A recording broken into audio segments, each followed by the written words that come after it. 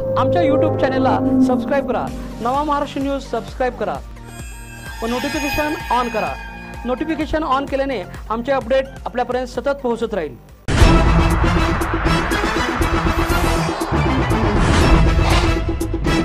दानोळे येथील ग्रामस्थांवर गुन्हे दाखल केल्याच्या निषेधार्थ आज कुरुंदवाड शहर बंद ठेवण्यात आले होते.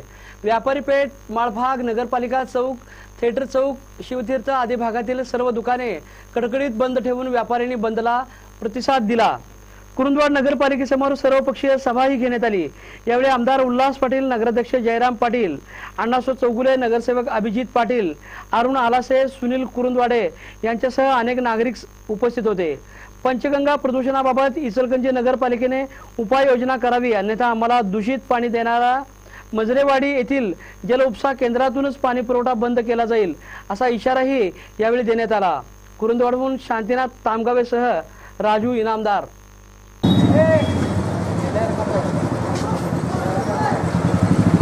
महिने त्यांना पोका आला आणि तीन दारूची योजना घेतली. तर जोपर्यंत कृष्णेत जात नव्हतं शांत होते ते.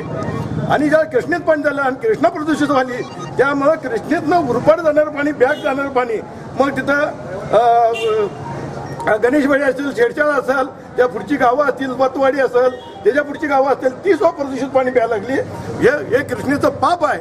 हे पण इतर नगरपालिकेचं पाप आहे. आणि हे जर पाप धुवून काढायचं असलं तर शासन दरबारी असंच सगळ्यांनी जाऊन त्यांच्या पाणी योजना आहे त्याच्यावर प्रक्रिया करणाऱ्या योजना तुम्ही राबवाव्यात. आणि दानोळीची ताबडतोब योजना बंद करावी. कारण दानोळीचं जे पाणी आहे ते दानोळीचं पाणी शेतीसाठी देण्यासाठी केलेलं आहे. इचलकरंजी शहरासाठी नाही. या इचलकरंजी शहराच्या पलीकडं जी वाड्या वस्त्या गावं आहेत छोटी छोटी खेडी आहेत त्या लोकांना अजून पाणी मिळालं नाही.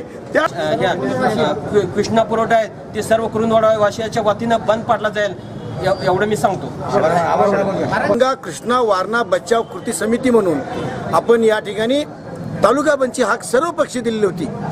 मला स्वतःला सांगायला अभिमान वाटतो. या अशा पद्धतीचा ऐतिहासिक बंद गेल्या वीस पंचवीस वर्षामध्ये झाला नाही. अतिशय कडकडीत अशा पद्धतीचा बंद पूर्ण तालुक्यामध्ये जनतेनं स्वयंपणे पाळला.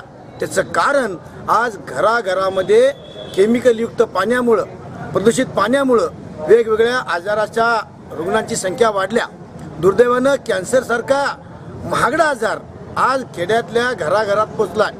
त्याचं कारण हे सगळं नद्यांचं प्रदूषित पाणी आहे. ज्या केमिकलच्या पाण्यानं लोखंडी नटबोल्ट गंज- गंजतात ते पाणी माझ्या ग्रामीण भागातला शेतकरी पचवायला लागला. आज आमची आतली आतडी नासायला लागली. आतडीला होल पडायला लागले आणि कॅन्सर मोठ्या प्रमाणामध्ये व्हायला लागला.